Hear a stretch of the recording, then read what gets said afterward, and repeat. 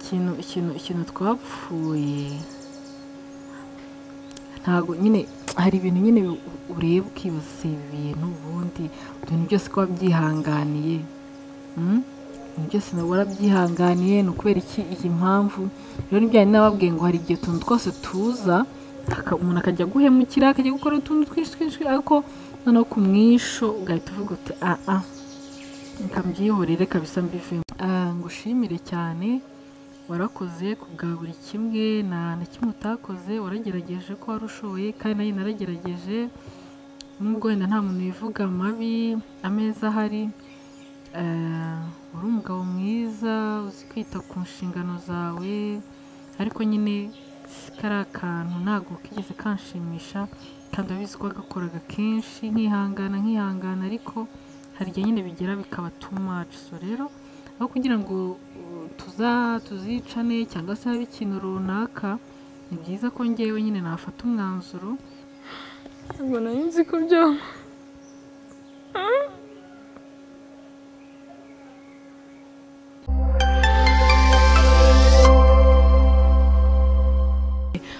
murumva guys so rero uh, ikintu nyamukuru ngiye kubabwira nyine umva madi kwitera nanjye courage uh, uh, nagira rero mbabwire ko nyine ngewe nanjye ubu ngubu ndi mu bantu nyine ba- batari kubana n'umugabo nyine twatandukanye. Hari umuntu uri hari imbere ari gutuma nseka kandi undi kubabwira biri seriyeze murumva?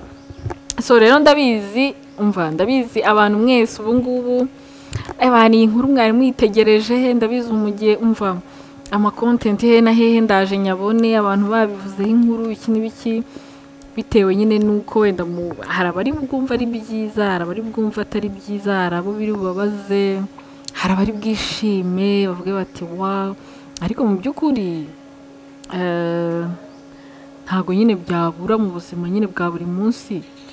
Nyine urumva ni na yo mpamvu mba nkoze nk'ikiganiro nka gutya n'ukuntu ukora nk'ikiganiro ukaba nyine wahita ubona umuntu nyine widekarara akavuga ati ngewe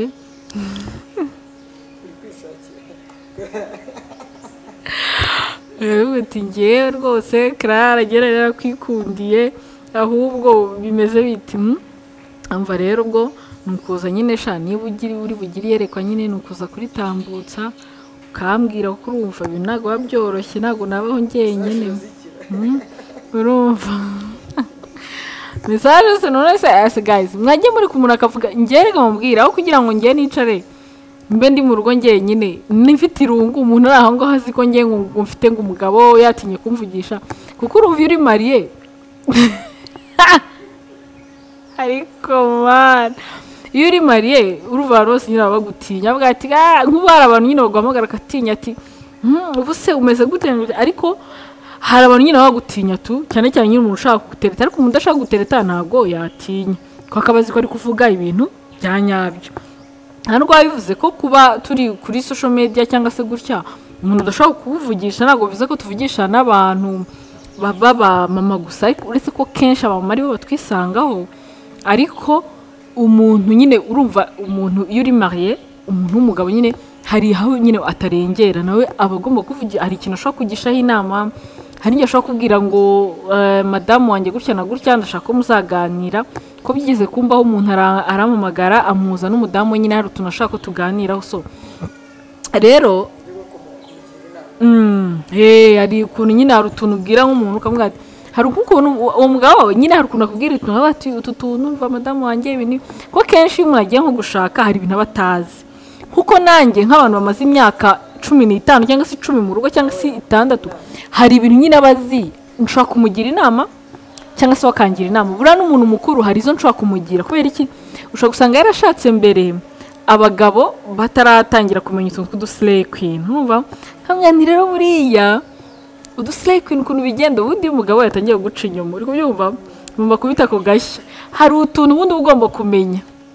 Ngo iyo umugabo hari umumere mukuru kandi ibyo bintu yarabimbwiye numva ni byo kubera ko hari ukuntu wa mugani niba ukundana n'umuntu uvuge wenda nk'umugabo wenda anyita bebe bebe umeze ute? Ukumva nyine iryo zina buri gihe niryo kwita noneho agataha uwo munsi ariko kwita shushu. Ah! Se shushu. Shushu noneho uyu ni uwahe noneho umugore yarasije aravuga ati urumva uwo mudamu ya- yarambwiye ati reka rero njya nkubwira ikintu cy'umugabo wanjye ndabizi ko ari kunca inyuma kandi ibintu ntabwo nari mbimuzi bikiri ndamwe ze wamufashe? Ngo ari kuri igihone ngo ntabwo namufashe ngo ariko ngewe ngo umva ngo niba umugabo wawe kwita be cyangwa se ngo sweetheart cyangwa se akakwita darling ukajya kumva ukumva ngo akwise ngo ngo ngo my love. Ukuva nyine cyangwa se zanyemo akantu ngo kabu ujye umenya ngo hari inshoreke bari umva ujye umenya ngo ingoma yahinduye imirishyo nubwo abakaraza bakiri ba bandi. Eee urumva? Ah! Ako kantu urumva rero nanjye ni akantu mbamise urumva? Ako kantu rero nanjye ni akantu mbamise nota nkavuga na eee oke urumva nk'ubu ngubu abantu barakamenye bagiye kwitwara neza ajya avuga ati ndakomeza mwita rya zina tu. Urumva? So rero buri muntu wese mu cyiciro cye hari n'igihe umuntu ashobora kuba ari divorce akakugira inama. Uzi inama ashobora kukugira? Uretse ba bantu nyine ba- ba- bagendera ku byo bahuye na byo agahita agukanga yewe uzumirwa. Uzumirwa uri rwanda biki n'ibiki gusa ikintu nabonye cyo kugira urugo rwiza ruhamye no kuba ufite icyubahiro uri umudamu ni ukuba ufite ikintu cyo gukora. Kuba uri umudamu ntimuze kunyumva nabi kuko hari n'abantu benshi badafite akazi nta nubwo abantu bose bahorana akazi. Ariko iyo udafite akazi nyine ako ariko kose nyine cyangwa se utereka umugabo wawe nyine kuzi gushakisha ibintu byose abona nyine ko ari we muntu ukugize. Nta kabuza ntakubeshye azagera nyine agusuzugure atari gusuzugura iki? Ushobora no kumubwira uti ngiye aha n'aha. Atari ku bujyahe usize abana? Ngiye nzajya gushaka amafaranga ugira no gusiga abana kandi nkeneye byose kubitaho. Urumva hari utuntu ashobora kubwira ukumva yego nitwo ariko uburyo akakubwiyemo ukumva ntabwo ariko birashoboka ushobora kumara umwaka nta kazi ariko ntabwo ubuzima bwawe bwose ushobora kubaho nta kazi ufite n'iyo umugabo yabigiramo uruhare. Ntukamwemerere. Impamvu rero kubwira gutyo ni iki? Ni uko abantu benshi mukunda gutinya nyine akazi ako ari ko kose. Akazi ako ari ko kose biterwa n'uko wowe umuntu wawe mubanye n'uburyo ushaka gutwaramo ibintu byawe. Sibyo ushobora no gufata iseta runaka ukajya mu isoko utazanye ibintu byo kuvuga ngo ngewe ngo ngo ngo ngo ngo ngewe ngo umugore mwiza nkanjye ngo ngo nagenda ngo nkicara ngo mu nyanya. Eee wazicaramo akazi kabi kaguhesha akeza. Eh, ntabwo ari ugusuzugurwa. Urumva ahantu hose ushobora noneho akazi kabi ushobora kugakuramo umugisha. Ushobora kujya gukora ahantu ukaba ucuruza inyanya hakaba hari umuntu muri hoteli ushobora kubwira ati "Buri ku munsi ujya uduha inyanya wenda z'ibihumbi ijana ni urugero. Ayo mafaranga asaba ari menshi. Ubundi hari abantu baba bakora amabizinesi nanabigishamo utu tuntu. Hari ukuntu ushobora gukora bizinesi ukajya ujya ku mahoteli runaka ukabwira uti ngewe izi ntoryi niba bazibahera bibiri ngewe ikiro nzambahera icyatanu ukihangana ukajya kuzinduka ukarangura ni uko umuntu atwara isoko nyine ariko se kuza ngo kwicara ngo ngo ngewe ngo umugabo wanjye ngo gutya na gutya ngo akora ahantu aha n'aha n'aha niba akora ahantu aha n'aha n'aha nubwo nubana n'umugabo ukabona nta nubwo aba ashaka kuva mu rugo. Ujye umenya ngo bizakubana ibibazo mu gihe se azaba adahari. Ntabwo umuntu ahoraho twese turabizi ko tuzapfa nta muntu n'umwe uzarama ushobora no gutinda gupfa ariko ukazapfa. Rero none se aramutse we apfuye cyangwa se wenda nawe ushobora no gupfa mbere ariko ugasanga wari ufite igihe cyo kwita ku bana cyo kugira ibintu basigira cyo kubereka urugero rwiza. Ari na byo bintu ubundi umwana niyo ari mu rugo hari utuntu uba ugomba kumwereka cyane cyane tw'abadamu kavuga ngo niba umwana angana gutya hari utuntu akwiye kumenya bitavuze ngo ni ukumuvunisha. Ariko umwana akaba azi kwandurura akaba azi gu- guhanagura amasahani akaba azi urumva ni ukuzuzanya. Ntabwo ari byiza kwereka umwana nyine ko ibintu byose ari umukozi. Ni bivuze ngo um- um- um- umwana tuvuge wenda nka kesi wanjye ubu ngubu afite imyaka icyenda ku- kuvuga ngo niba umwana aciriye aho ngaho arine bayano ibyo bintu nyine ntabwo aba ari byo pe. Keretse wenda ikintu ubona ko adashoboye Mm? ariko ibintu ashoboye ushobora kumubwira ati zana itorosho. Ibyo bintu ntabwo ari ibyo gute uhamagara umuntu kubera aka kantu ugasanga umwana ashishuye nk'umuneke ahise awuterera aho ngaho ngo umukozi araza kuwufata. Rero umva rero ibintu byose bipfa mu iterura. Kandi ikindi ntabwo bivuze ko uko warezwe ariko ugomba kurera abana bawe. Niba wararezwe neza ni byiza ariko hari n'ubwo uba wararezwe. Buriya hari ababyeyi barera abana bakabazi ngo ni ukubarera neza kandi turi kubarera nabi. Ugasanga umwana buri kintu cyose uramubwira ati biriya ntukabikore. Cyane cyane iyo usanga ababyeyi bafite abana ba- ba- badahuje nka ba mama wenda tuvuge nk'urugero nka mfite umwana akaba na papa we nyine wenda na mukase ugasanga nyine aramubwira ati "Bi- ntukajye ubikora ujye ubwira papa wawe ko umukozi ari ugomba kubikora. Kuba umuntu yaba atari mama wawe mu gihe mubanye neza mubanye neza nta kintu byaba bitwaye ukumva nyine ibyo akubwira ukamufata nyine nka mama wawe mu gihe nawe yagufashe nk'umwana. So rero ntizimbye mu magambo. So guys rero nta kindi kintu numva nyine narenza kuri ibyo ngibyo ibintu byose muba mugomba kubyitaho. Abana bakamenya ko bagomba kubaha ariko n'ababyeyi nabo bakamenya ko hari imirimo badakwiye guha abana babo. Ukamenya ko utagomba guha umwana wawe akazi ngo uramwishyura. Kandi ari gukora ibintu byo mu rugo. Hari ababyeyi usanga bari ngo ngaho nkoropera ngo ndaguha magana atanu Mm. cyangwa ugasanga ufite nk'abantu mufukana ngo uyu nguyu arakoropa ahangaha ngo magana atanu ngo undi igihumbi. Ugasanga ibyo bintu nyine biba ari ukwangiza umwana. Mbere na mbere utangiye kumuha amafaranga akiri muto ikindi uri kumutinya kandi ari umwana wawe gute? Ariho hantu usanga nyine umwana atari ku atari kubaha nyine abantu. Yumva ko nyine niba ugomba kumubwira ikintu ikintu cyose ntabwo kigomba kuba ikiguzi muri iyi si. Ibintu byose hagomba kuzamo kuzuzanya. So rero nari ndimo nyine ibintu byambayeho ntabwo ntabwo ari ibintu nyine byoroshye. Nababwiraga ko mbizi neza ko abantu muri buze kubivugaho abantu muraza ku- ku- kumbwira nabi. Abandi mubwiho ntabwo nari nkwiye kubivuga ariko ni byiza ko mbivuga cyane cyane ko uyu munsi bubo ntabwo nari kubaho nabivuze kuko mwarabibonye ko maze igihe ntakora maze igihe ntakora ntabwo kuba kingi yari amaze igihe ataza ari byo bintu byari gutuma nyine ntakora. Sibyo? Nabyo birashoboka kubera ko hari ukuntu uba uzi ko umuntu muri gukorana neza n'iki ariko ugasanga ese ofisi na yo nari kumushaka nkamubona ariko hari ukuntu nyine ibintu biguca intege ugasanga ntabwo bikunda. So rero ah, ikintu ikintu ikintu twapfuye ntabwo nyine hari ibintu nyine ureba ukibaza ibi bintu ubundi ibintu byose ko wabyihanganiye Mm? ibintu byose warabyihanganiye ni ukubera iki? Iyi mpamvu. Rero ni byo nababwiye ngo hari igihe utuntu twose tuza umuntu akajya guhemukira akajya gukora utuntu twinshi twinshi ariko noneho ku mwisho ugahita uvuga uti ah ah reka mbyihorere kabisa mbivemo ntabwo bivuze ko ari um, ah, mbere na mbere kamubwire ngo ah, ngushimire cyane warakoze ku bwa buri kimwe nta na kimwe utakoze waragerageje ko wari ushoboye kandi nanjye naragerageje nubwo wenda nta muntu wivuga amabi ameza ahari eh, uri umugabo mwiza uzi kwita ku nshingano zawe ariko nyine kari akantu ntabwo kigeze kanshimisha kandi abizi ko wagakoraga kenshi nkihangana nkihangana ariko hari igihe nyine bigera bikaba too so rero aho kugira ngo tuzicane cyangwa se habe ikintu runaka ni byiza ko ngewe nyine nafata umwanzuro. Guys ibintu bitangaje ubu ngubu um, no kuba mvuze ino videwo n'ubu ngubu naraye mu rugo ariko ubu ngubu sinzi ahantu ndi ndava hano numva iyi videwo naza no kuyibona ubwo ndava hano mpita nigendera. Nari mbibabwiye kugira ngo mubimenye kugira ngo nimunabona hari n'ahantu nje ushobora no kumbona wenda ndi nitwara ivarizi nta kintu kimwe ndi buze kujyana. Ibintu byose ndabisiga kuko n'ubundi nta bintu byahatari ko iyi si nyine nta ibintu nibishakwa. Icya mbere ni ubuzima gusa icyo ntamusigira n'abana banjye ebana sha wapi? Ikindi uzakomeza wite ku nshingano urebe abana ugire niba wenda umwana agukeneye azakubona.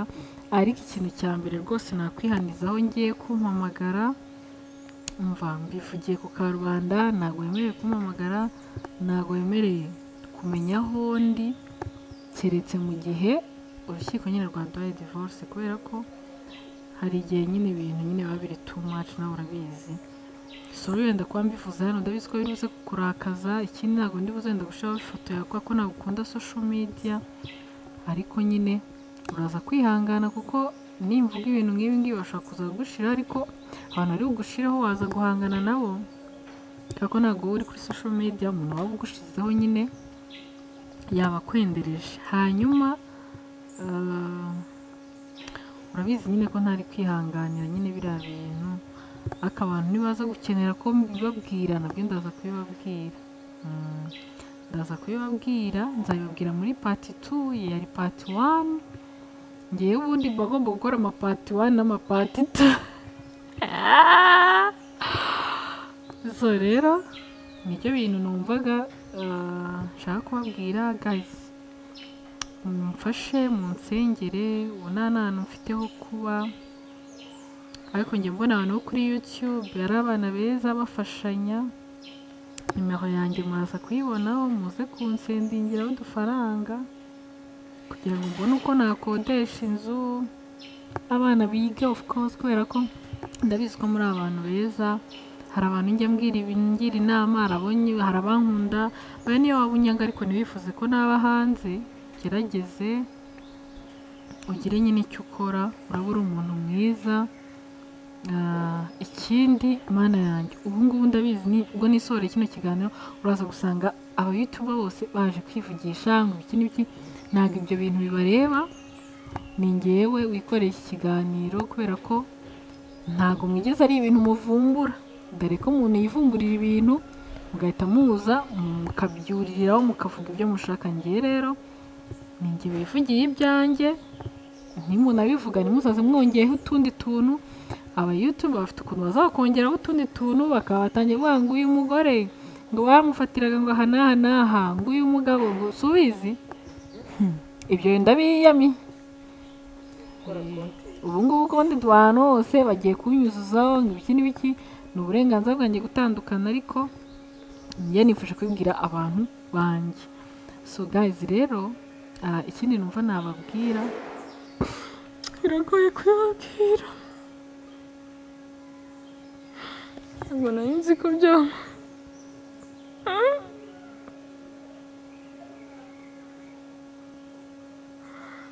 mwana we yo ariko mana iguru ngira amarapa ariko kwiriza sinzi ko byahita bikunda guys.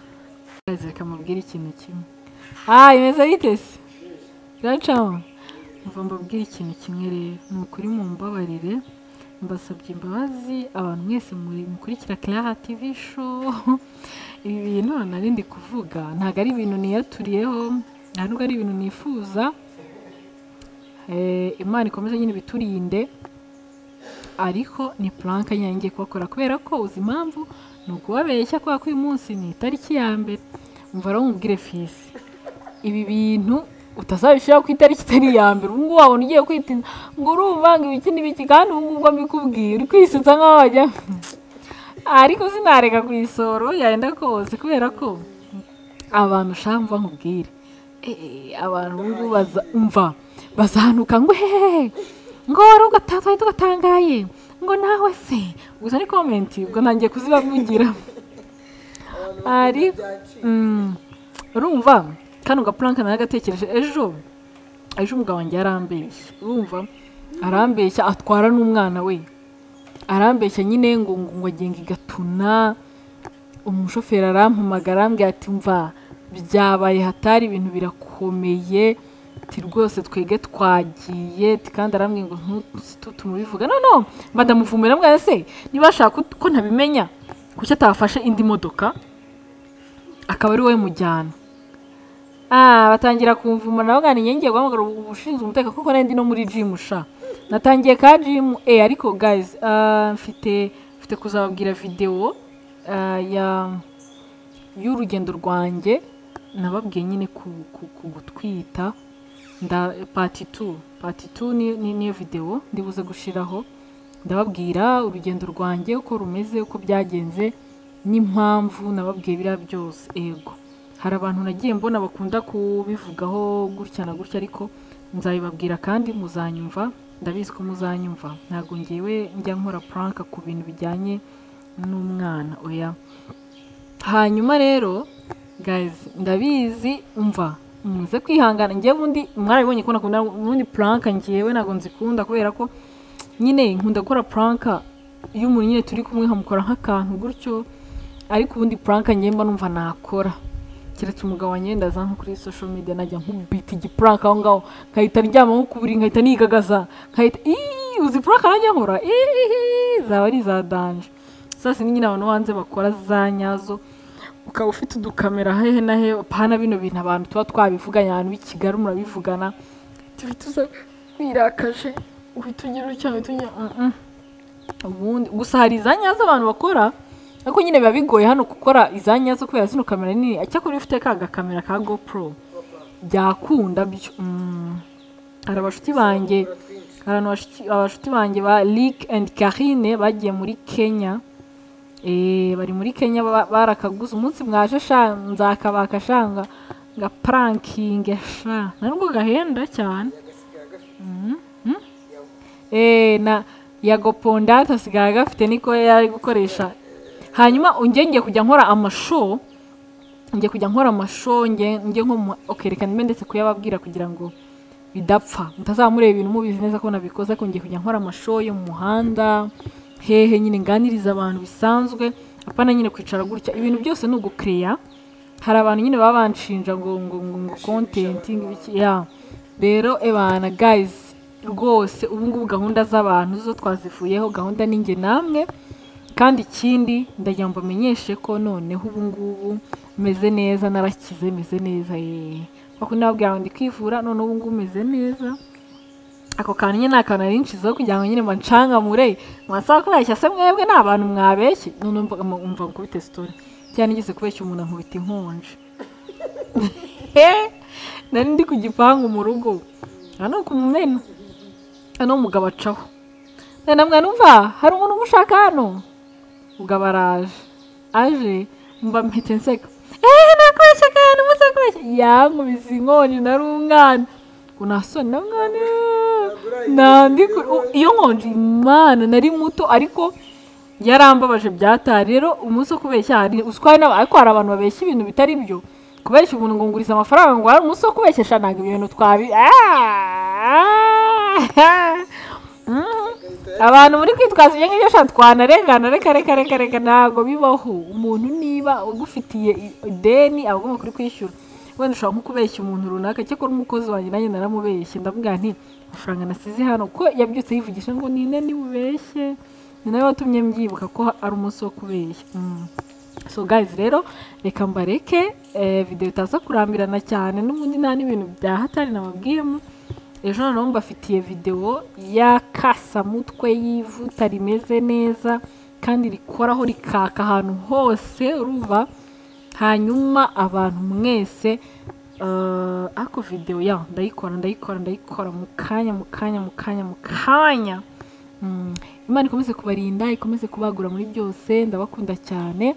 Kuri clarativi show naka idasohoka mukore subscribe gare eh nakagaruka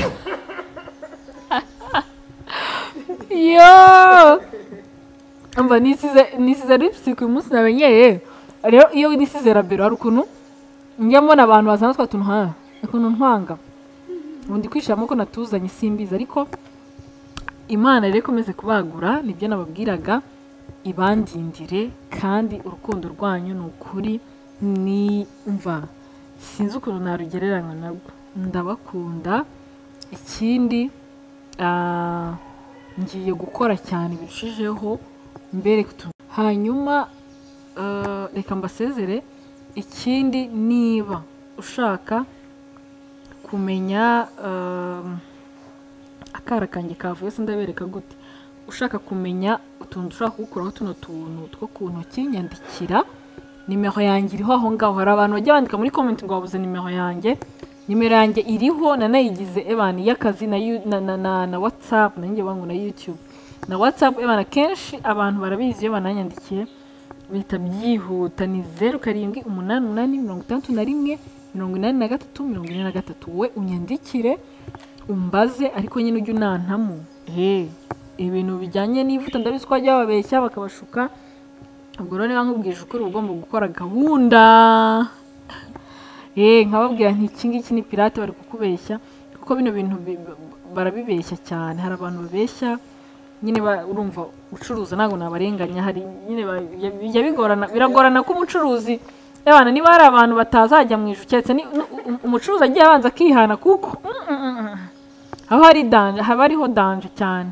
Ikindi ntabwo ikintu ushobora kukigura hariya ngo uze ukigure na ngewe nshobora kukubwira aka kantu nkubwira nikagura aya ngaya wowe ukajya kugura icya pirate ukakigurayo biterwa. Ariko ntabwo abantu banjya mbakabizi. Hari nabo ndangira nkabwira aho ngaho hanze ni ho heza.